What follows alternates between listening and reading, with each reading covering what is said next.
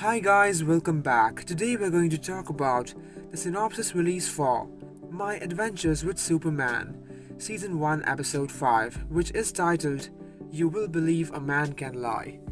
In this episode, Lois will be seen uncovering a secret which is in Metropolis. She will be focused to find out the whole story behind it and the truth about what is really happening. It might also be related to the organization which is dealing with the dangerous weapons. Meanwhile, Clark will also come to know about these dangerous weapons being in Metropolis and a deal related to it.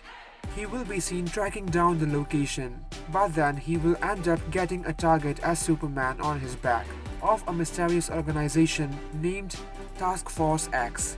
Maybe it will be the same organization which has been keeping Livewire, also known as Leslie Willis, hostage, as they were shady in the second episode.